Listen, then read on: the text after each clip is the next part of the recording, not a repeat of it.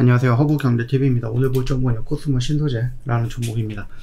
이게 뭔가 되게 달라요. 미국 베팅 사이트에서는 해리스의 20% 이상 격차를 벌려갖고 얘가 당선될 확률이 높다.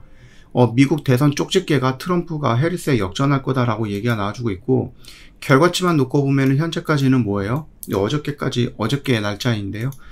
전국 5% 우위를 보이고 있다 해리스가 그 조지아 오차박으로 앞서고 있다.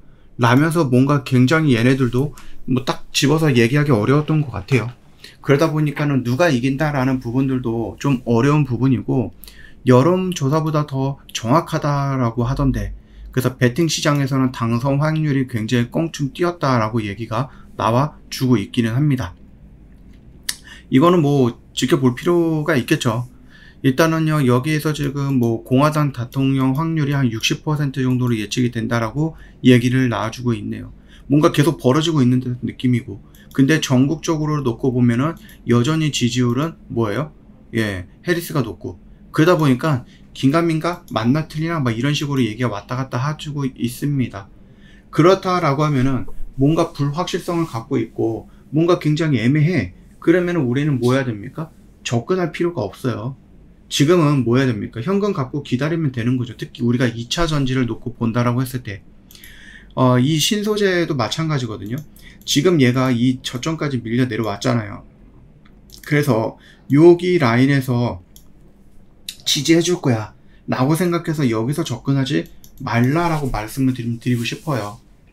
결국 얘는 만약에 해리스가 우수, 뭐 이긴다라고 하면은 여기서 지지를 받고 올라갈 때 따라 들어가면 되겠고, 어, 트럼프가 이긴다 그러면 여기 라인을 아마 이탈하는 모습이 연출될 가능성이 높죠. 그러면은 굳이 우리가 여기서 들어갈 필요가 없어요 지금은. 결과적으로는 이제 11월 5일 날에 트럼프든 해리스든 결판이 나고 나서 그 결판에 의해서 어떤 사람이 주인공이 되느냐를 보고 우리는 대응을 하면 된다는 얘기예요. 물론 이제 가면 갈수록 사전 투표라든지 이런 것들도 얘기가 있을 거고 그리고 뭐 가면 갈수록 뭔가 조금 더 어, 좁혀지거나 아니면 좀 벌어지거나 뭐 이런 얘기가 나와주겠죠. 그렇다고 하면 여러분들은 굳이 여기가 전 저점인데 여기서 지켜줄 거야 라고 해서 미리 들어갔다가 트럼프가 우승해서 이겨서 이렇게 떨어질 때 도망 나와야 되는 그런 부분을 할 필요는 없다는 얘기입니다. 조금 더 지켜보고 코스모 신도제 같은 경우는 어차피 우리가 접근해서 여기서 정리하고 여기서 정리하고 나왔던 부분이기 때문에 기다려볼 필요가 있다 이렇게 말씀을 드리고 싶어요.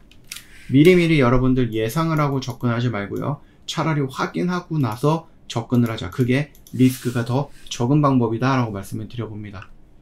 저 허브경례TV 공식 채널 보시면은요 어떤 이슈가 나오고 그 이슈에 대해서 저희가 깔끔하게 정리해드리고 있죠. 이런 것만 여러분들이 잘 정리해 놓고 보시더라도 정말로 시장에서 도움이 많이 될 거라고 생각합니다.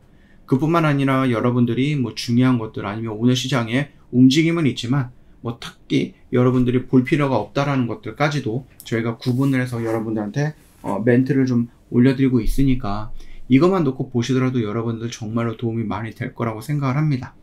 그러니까 여러분들 다른 거 하지 마시고 저희 공식 채널만 들어오시면 될 것 같고 영상 댓글 안에 링크가 있거든요.